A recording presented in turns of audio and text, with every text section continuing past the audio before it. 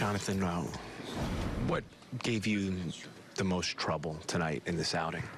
¿Cuál, tú dirías que fue lo que más te dio trabajo en esta salida de, de- de hoy? Lo que he estado trabajando siempre, el terminar los bateadores.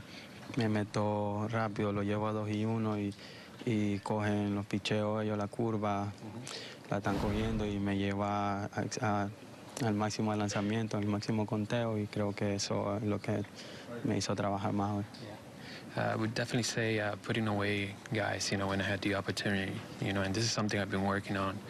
Um, it is continuous work. Um, you know, I felt that I had a couple opportunities there where I got ahead and I had a good chance to, to put them away, but um, they took some good pitches, you know, and they adjusted to to to uh, the way I was I was attacking them. Credit to them, but of course, you know, something I'm um, going to keep working on. That's something Aaron was just talking about as well.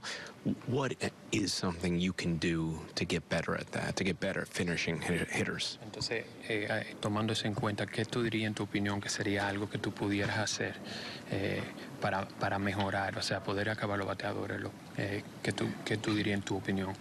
En mi opinión, trabajar más en el comando de la recta, atacar los bateadores, ya sea tengan dos extraños o no, atacarlo y la curva, tirarla, tirarla ahí sin, sin miedo a que vayan a dar un batazo ni nada.